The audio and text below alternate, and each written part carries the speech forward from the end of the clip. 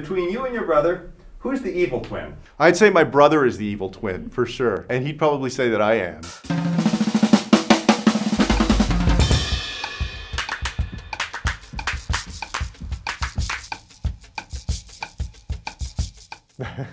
probably bull. My first paying job was uh, stock boy at Pep Boys, the automotive store, in the summer before I went to college in 1992 was the death penalty. There's a lot of evidence over the last 20 years that people have been put on death row that should not have been there. They have been exonerated. And it makes you wonder over the years, before we had DNA evidence, how many people might have been put to death that didn't deserve it. What actor should play me in my biopic? There's this actor, Billy Crudup, if anybody remembers him. I don't want to be a cold, sarcastic, blocked off man anymore people often describe me as very cautious. If people look at my record, it's actually a record of taking some risk. The best example of that was staking my entire mayoral tenure on trying to get the people of San Antonio to raise the sales tax in order to expand high quality full day pre-K. Of course, we were in Texas, and so people don't like raising taxes, but I felt that that was key, improve its educational achievement. Felt like it was the right thing to do and that I was willing to risk losing that. And fortunately, it worked out. It passed with 53% of the vote. And because of that, today San Antonio has one of the strongest pre-K programs in the nation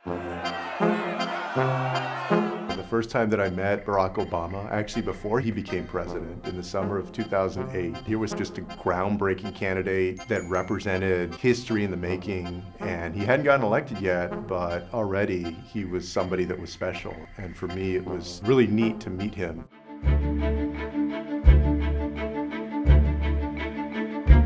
Was an odd criticism because the program that they cited was around for years before I got to HUD. And then when I got to HUD, I was actually the one that said that we need to change it and improve it. And we did improve the program. Even the critics of the program recognized that by the time the Obama administration ended, it was a better program because of the improvements that had been made under my tenure. I can't tell you how many times I've gotten emails that say go back to Mexico. In public service, I've seen the bigotry that still exists out there. I think all of us see that too often times, whether it's on Twitter or in other ways in our daily lives now that everybody has a cell phone camera and people capture the interaction a lot more between neighbors or just people interacting in public. My worst habit is definitely over checking my phone. If you have the iPhone, you know that you get an update every week now with the latest model on how many hours you've used your phone every week. So it's seven hours and one minute of screen time, which was down 12% from last week. And that was probably down 20% from the week before. I'm getting better. I felt like an addict like two or three weeks ago, but this is not too bad. I'm on Twitter most of the time when I'm, you know, on my phone. My wife, Erica. I've been married to my wife now almost for 12 years. In about a month, my wife and I are going to celebrate the 20th anniversary of our first date which was on May 26, 1999. She's been a wonderful wife and a wonderful mother to our two children, Carina, who's 10, and Cristian, who's 4. I know that I couldn't do this campaign or this journey in life that we've been on without her. Every candidate should have to answer whether they're going to take any PAC money, whether they're going to take any federal lobbyist money, and how they would make government in Washington more transparent. I'm not taking any federal lobbyist money. I'm not taking any PAC money. Congressman Tim Ryan wants to ask all of the candidates, how are you going to fix the economy in a way that cuts workers in on the deal?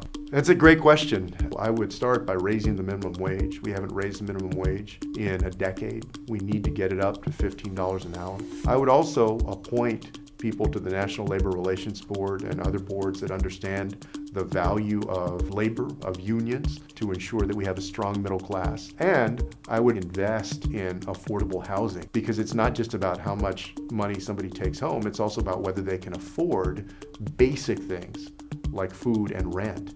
Over the last few decades, the rent has been going up and up. And today, too many families pay more than 40 or 50 or 60 percent of their income in rent. And so I would tackle this on both ends how much people make and then how much we invest so that they can do things like afford to live in a decent, safe place.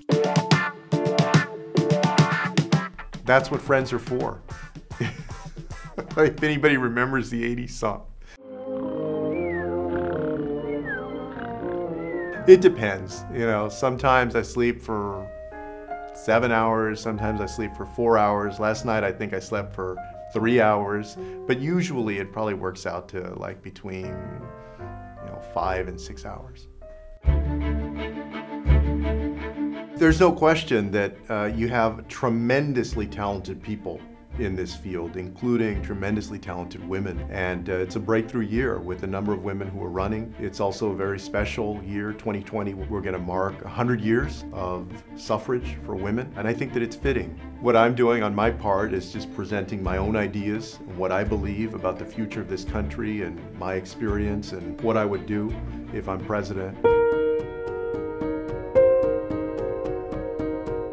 When I was a Secretary of Housing and Urban Development, one of the things that we built up from scratch was this partnership between housing authorities, internet service providers, and nonprofits to deliver either free or very, very low cost internet service, broadband, to families living in public housing because we found that the vast majority of families living in public housing didn't have internet access at home. And that was in 2015. Thousands of families have since joined that program. And because of that, there are children out there that are able to learn better, to keep up with their homework.